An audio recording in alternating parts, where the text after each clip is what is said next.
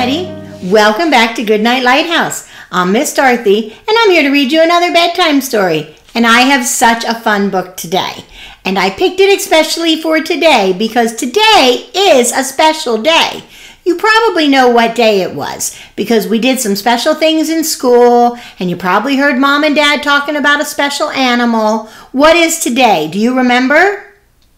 Yes, it's Groundhog Day.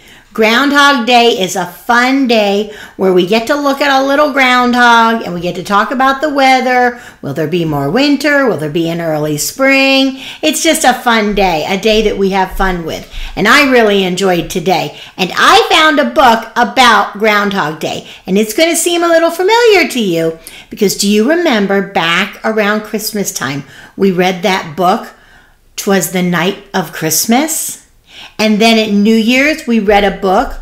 Twas the night before New Year's. Do you remember those books? Well, I found a book called The Night Before Groundhog Day. The Night Before Groundhog Day. This is a fun book. It's all about what families do at Groundhog Day, what kids at school do during Groundhog Day, and what the groundhog does at Groundhog Day. It's a good book, and just like all the others, I love the rhyme of this book.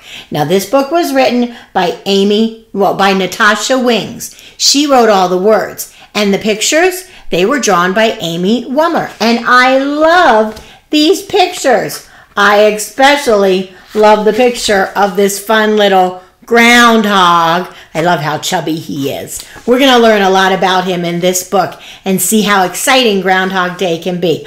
I'm really anxious to get into this book. Are you ready to read about Groundhog Day? I hope so, because it's time for you to sit up and listen up, because here we go. Twas the night before Groundhog Day, and all through our town, everyone was waiting for tomorrow's countdown.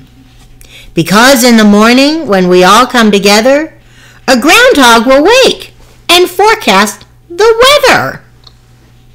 Look, the calendar says February 2nd, just like today. If it's a bright and sunny day, his shadow he'll see. That means six more weeks of winter there'll be. But if it's cloudy and gray, his shadow won't appear. That's what I'm hoping for. It means spring will be here. At school, we did crafts in our art classes. We made groundhog masks. Mine had a bow tie and glasses. We made pop up puppets with flat sticks and cups. We learned baby groundhogs are called cubs, kits, or pups. We studied our climate plus the floor seasons. The weather changes for all kinds of reasons. At school, they learned about Groundhog Day, just like we did. Then we all voted on what news the groundhog would bring. Everyone but one boy said there'd be an early spring. Everybody wants it to be spring but the one boy. He still wants it to be winter. Like winter, said Paul. I'm crazy for snow. Not me, I told him. This cold weather has to go. I'm with her. I'm ready for spring. At home after dinner, we baked special cupcakes. I added on frosting and coconut flakes.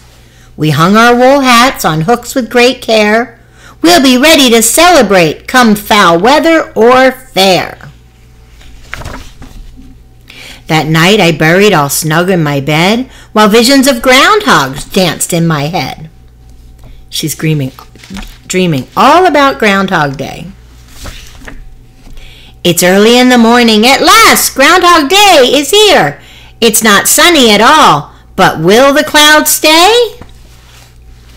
My family bundles up and heads to town square, where a crowd's already gathering. There's music in the air.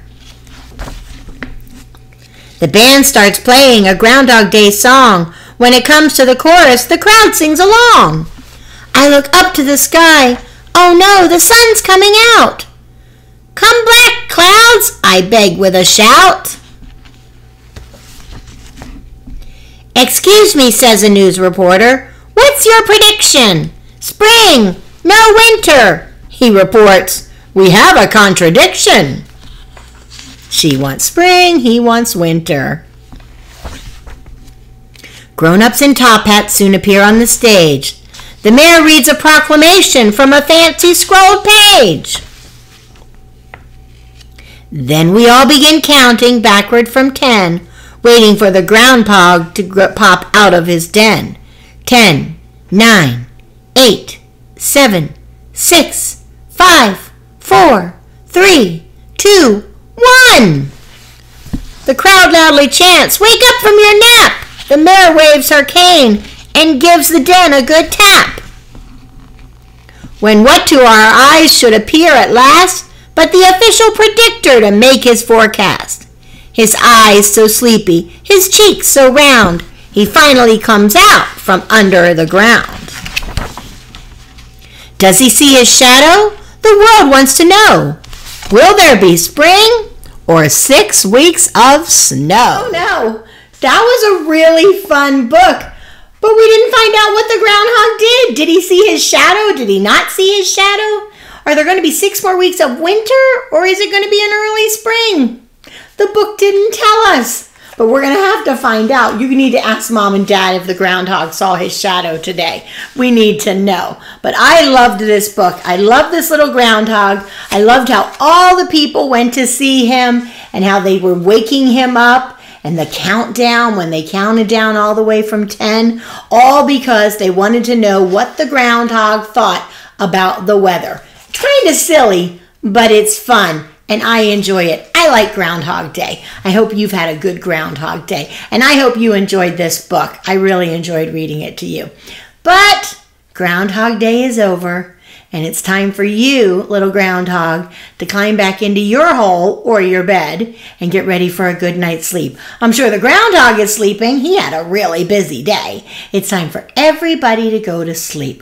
We can find out about the weather tomorrow Whatever it's going to be, it's going to be, but we'll find out soon enough. But before we go to sleep, why don't we pray together? Why don't we thank God for the winter and the snow and the spring and the summer, all the fabulous seasons that God has given us? Will you pray with Miss Dorothy?